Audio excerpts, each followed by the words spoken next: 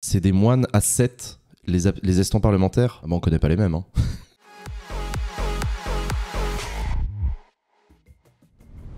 Comment on fait une procuration si on connaît personne qui vote dans son bureau de vote? Ça peut arriver hein, pour les étudiants qui euh, étudient euh, loin de leur famille, pour les machins et tout. C'est très simple. Euh, vous téléphonez au parti politique que vous voulez soutenir. Et je rigole pas. hein. Vous, vous envoyez un message ou vous téléphonez aux représentants locaux de votre parti politique et vous leur dites bonjour, je voudrais voter pour vous à l'élection, mais je peux pourrais, je pourrais pas être là. Est-ce que vous connaissez quelqu'un qui vote dans tel bureau de vote et qui est un militant et qui serait chaud pour prendre une procuration? Et vous inquiétez pas que le parti politique il va vous trouver quelqu'un. Mais ils ont évidemment intérêt à trouver quelqu'un parce que sinon ils perdent une voix. J'aurais jamais pensé. Non non mais faites-le. hein. En vrai faites-le. hein. Les partis politiques adorent faire ça. C'est évidemment ils sont super contents de recevoir ce genre de coup de téléphone. Bonjour, je vous connais pas. euh, j'ai envie de voter pour vous, mais je connais personne dans mon bureau de vote. J'ai besoin de faire une procu. T'inquiète frère, on va trouver quelqu'un. Le mec il va faire chauffer le téléphone, il va envoyer trois textos. C'est bon, on a trouvé. Donc faites ça. C'est vrai que sur les affiches, ils ne sont pas obligés de mettre leur tronche, mais plutôt celle du chef du parti. Il y a aucune obligation légale de représenter quelque chose euh, sur les affiches électorales. Il y a une interdiction de représenter les couleurs bleu, blanc, rouge ou tout autre euh, logotype d'ordre officiel. Donc il est interdit sur une affiche électorale de représenter le logo de la présidence de la République, le logo République française avec la petite Marianne, le drapeau bleu, blanc, rouge et tout. Ça, ça sert à éviter que des électeurs soient trompés par euh, des candidats qui paraîtraient officiels, administratifs, machin. Vous savez, c'est comme les arnaques, les arnaques qu'on reçoit par courrier. Où tu reçois un courrier avec le logo euh, République française bleu, blanc, rouge. T'as l'impression que c'est un courrier officiel qui te demande de l'argent. Du coup, t'as un peu la trouille. Tu dis merde, j'ai oublié de déclarer un truc, je sais pas. Sauf qu'en fait, c'est une arnaque. C'est une entreprise qui euh, machin. Bah, c'est pareil aux élections. Pour éviter ça, on interdit euh, sur les affiches d'avoir un grand drapeau français, d'avoir un drapeau français, un drapeau européen, d'avoir une petite Marianne et tout. C'est pour cette raison-là. À part ça, il est euh, pas obligatoire de mettre la tronche du candidat. Tu peux mettre la tronche du chef du parti. Tu peux mettre le candidat avec le chef du parti. Tu peux mettre des animaux. Je vous rappelle qu'il y avait les candidats animalistes qui avaient mis une photo de chien ou de chat. Hein. Parti animaliste, ils avaient mis des animaux. Hein. Et c'est pas interdit. Tu peux mettre le photo d'une bagnole. hein. Tu peux mettre une Clio 206 euh, si tu veux. Est-ce que tu as le droit de mettre la photo du candidat d'un parti adverse? Non, parce que tu as besoin d'avoir son autorisation. Ça, pour le coup, c'est pas spécifiquement des règles électorales. hein. C'est principe de droit à l'image. Principe de droit à l'image. Tu n'as pas le droit d'utiliser l'image de quelqu'un sans son accord. euh, euh. Est-ce que les suppléants ont quelque chose à faire officiellement pendant que leur député est opérationnel? Non, les suppléants n'ont rien à faire pendant que les députés siègent. Les, suppléants, ce n'est pas un mandat, ce n'est pas un rôle, ce n'est pas un poste. En fait, c'est un espèce de joker, quoi. C'est comme un réserviste. C'est un mec qu'on peut appeler. On va dire, ah, tu vas devenir député la semaine prochaine. Parce qu'en fait, ton député euh, titulaire, il, il est nommé au gouvernement. C'est un mec sur le banc. Ouais, mais c'est, tu vois, un remplaçant au foot, il, il est sur le banc pendant le match. Un suppléant, pas du tout. Un suppléant, il vit sa vie. euh. tu peux être suppléant assistant parlementaire. Oui, alors du coup, il y a des suppléants qui deviennent assistants parlementaires, ouais. Alors, assistant parlementaire, c'est autre chose. Assistant parlementaire, ce n'est pas un élu, ce n'est pas un représentant du peuple, ce n'est pas un fonctionnaire non plus de l'Assemblée nationale. Un assistant parlementaire, on, on dit plutôt collaborateur parlementaire, c'est une personne embauchée, euh, c'est un professionnel payé qui a un contrat de travail la- avec, un, avec un salaire à la fin du mois, hein, qui euh, va travailler dans l'équipe du député pour bosser avec lui, bosser pour lui, l'aider, le soutenir. euh. C'est des moines à 7, les estants parlementaires. Bah, on connaît pas les mêmes. Hein. Si LREM obtient le plus de sièges à l'Assemblée sans pour autant avoir la majorité absolue, on serait bien dans une sorte de crise qui pourrait conduire à quoi? Dissolution à l'Assemblée nationale. Ça pourrait aller jusqu'à une dissolution, oui. La République en marche, depuis un an et demi, n'a plus la majorité absolue à elle toute seule. Ils sont en dessous des 289 députés. Mais c'est pas grave parce qu'ils avaient des alliés avec eux. Ils avaient d'autres groupes de députés qui étaient avec eux. Donc ensemble, c'est même pour ça qu'ils ont appelé ça ensemble. C'est là que tu vois que les mecs sont bons en marketing, putain. Ensemble avec ces autres groupes, ils avaient une majorité absolue. Donc ils ont pu gouverner la France pendant 5 ans comme vous l'avez vu, etc. Qu'est-ce qui se passe demain si la République en marche n'a pas la majorité absolue? Bah ils vont chercher d'autres groupes pour créer ensemble une majorité. Bon, mais qu'est-ce qui se passe si même ensemble, ils arrivent toujours pas à avoir une majorité? Et ben ils vont continuer à chercher d'autres groupes pour constituer une majorité. Ils vont discuter, négocier, trouver des compromis, trouver un accord gouvernemental, une coalition. Et qu'est-ce qui se passe si même malgré ça, ça marche pas, ils y arrivent pas, ils, se- ils ont pas de majorité, c'est le bordel, etc.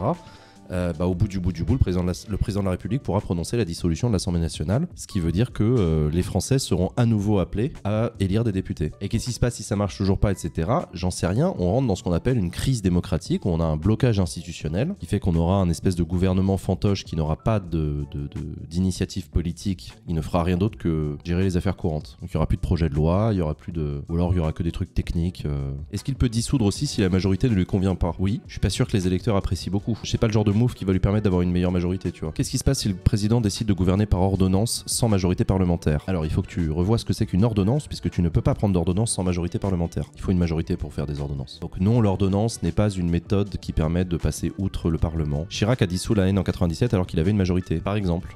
Mais il était pas très content de cette majorité. Elle était relou cette majorité, on va dire ça comme ça. C'est quoi un mandat impératif? Mandat impératif, grosso merdo, ça désigne l'obligation pour un représentant de voter d'une telle manière ou de décider telle chose, mais l'obligation d'ordre légal euh, ou politique. C'est ça qu'on appelle un mandat impératif. En fait, c'est le mandat impératif retire tout l'intérêt du Parlement. Le principe du Parlement, c'est la discussion. C'est la possibilité de changer d'avis ou d'amender son avis ou de trouver des compromis. Un député doit être libre de voter pour, contre, en son âme et conscience, etc. C'est le principe de l'interdiction du mandat impératif. Imaginez une négociation, deux entreprises qui négocient l'une avec l'autre, ou deux, ou deux États dans un truc diplomatique, mais une négociation avec du coup des négociateurs. Un négociateur, il a un mandat de négociation. Son autorité lui dit bon bah écoute, euh, tu vas proposer ça, et puis euh, bon ça je t'autorise à éventuellement rogner un peu, ça je t'autorise. Bon bref, je te donne des marges de négociation. Imaginez qu'aucun négociateur n'ait de marge, ils arrivent, ils se mettent autour d'une table. Il y en a un qui dit bah moi je propose ça, le mec en face il fait bah non, moi je propose plutôt ça. Ok mais on peut négocier ou pas? Ah bah non, moi j'ai interdiction. J'ai pas le j'ai aucune marge, j'ai pas le droit. À toi non plus? Ah bah on fait quoi du coup? Bah on se casse. Voilà, bah c'est un peu ça le mandat impératif. L'interdiction du mandat impératif, euh, ça, laisse la liberté aux députés d'avoir un, mandat de négociation. Est-ce que le président peut dissoudre l'Assemblée autant qu'il le veut? Non. Il peut pas le faire plus d'une fois par an. Admettons, un président de la... Oubliez Macron de deux minutes, parce que le problème, en fait, quand je vous parle de politique, c'est que très souvent, vous calquez ce que je suis en train de vous dire sur le président actuel, et, et quelle que soit la relation que vous avez avec lui, vous l'aimez bien, vous le détestez, etc., ça peut changer votre perception des choses. Mettez Macron de côté. Un président qui dissout l'Assemblée nationale. Les Français votent pour des députés, et ils votent en majorité, donc ils élisent une majorité de députés qui sont hostiles au président de la République. Ces députés arrivent à l'Assemblée, et le président de la République, il dissout. Qu'est-ce que vous croyez qu'ils vont penser les Français? Vous qu'ils vont changer d'avis? Vont se dire, ah non, il a, finalement, il a raison. Ouais, non, finalement, je vais soutenir le président, je vais voter pour des mecs à lui. Bah non. Ils vont revoter pour les mêmes députés, alors même peut-être encore un peu plus de votes. Donc en fait, jouer au con comme ça, c'est pas du tout dans le sens de l'intérêt du président. Donc la dissolution, c'est pas non plus une arme magique. Chirac confirme. Ah bah ouais. Pourquoi ce pouvoir du président de dissoudre l'Assemblée a été mis en place? Justement pour éviter les problématiques qu'on avait sous la 4ème République, où comme le pouvoir de dissolution n'existait pas, des majorités étaient impossibles à trouver, et c'était comme ça, pas autrement, il fallait attendre les prochaines élections. C'était le- Bref, la dissolution, c'est un, une mécanique de sortie de crise qui a été inventée pour éviter de se retrouver dans des crises comme celles qu'on avait sous la 4ème République. Donc c'est une sorte de contre-pouvoir qui est contrebalancé aussi par le pouvoir de, de- enfin la responsabilité du gouvernement devant l'Assemblée nationale, donc la possibilité de, de censure du gouvernement. Pareil pour le 49.3, pareil, enfin voilà, c'est tout un tas d'outils qui ont été créés pour sortir de crise politique, vu que euh, Debré, De Gaulle et, et toute une partie de l'opinion publique de l'époque avaient été traumatisés par la 4ème République. Est-ce qu'une solution au problème de la majorité-minorité du gouvernement au Parlement, ce serait pas une élection à mi-mandat? Un Parlement qui a un mi-quinquennat se renouvelle pour potentiellement forcer l'alternance. Quel est le problème du calendrier législatif? Il y a plein de gens qui trouvent ça formidable, l'idée qu'on organise des élections à mi-mandat, une désynchronisation du calendrier législatif pour permettre d'avoir davantage d'alternance, pour permettre de faire un peu comme aux États-Unis, c'est-à-dire euh, la possibilité qu'une majorité change euh, en cours de quinquennat, etc.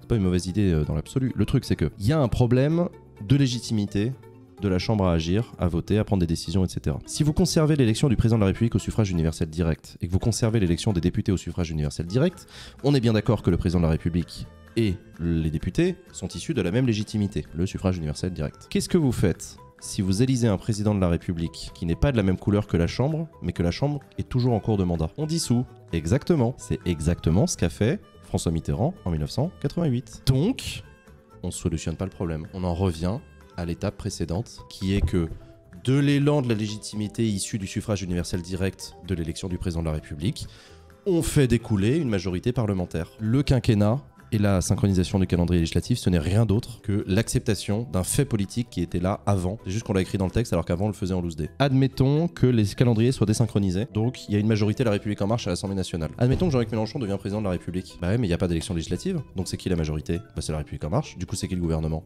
Bah c'est la République en marche. Du coup, qu'est-ce qu'il fait euh, le gouvernement, bah, il fait la, réforme, la retraite à 65 ans. Bah oui, mais non, parce que Jean-Luc Mélenchon vient d'être élu président de la République. Du coup, les Français ont quand même préféré ce que proposait Jean-Luc Mélenchon, qui était l'inverse de la, la retraite à 65 ans. Bah oui, mais il y a une majorité au Parlement. Donc en fait, on a un problème là. On a un problème. C'est qu'on a un Parlement qui est issu d'une majorité qui était d'une autre élection il y a 5 ans, mais qui ne représente plus la nouvelle majorité qui vient de, se prononcer là en, votant Jean-Luc Mélenchon. Et ben Jean-Luc Mélenchon, il est pas con. S'il est élu président de la République avec une assemblée qui ne le représente pas et qui n'est pas prévue d'être renouvelée dans les semaines qui viennent, et ben il dissout. Évidemment qu'il dissout. Donc en fait, le problème, c'est pas une question de synchronisation de calendrier, c'est une question de mise en cohérence avec le fait qu'on a deux institutions de la République qui sont issues de la même légitimité, le suffrage universel direct.